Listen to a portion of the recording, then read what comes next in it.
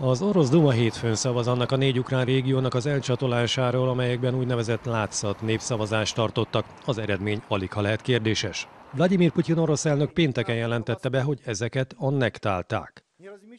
Volodymyr Zelenszky ukrán elnök szerint azóta teljesen megtisztították a kelet-ukrajnai Limán stratégiai fontosságú városát, és csapataik több területen visszaszorították az orosz erőket. Moszkva szerint taktikai visszavonulást hajtottak végre a térségben.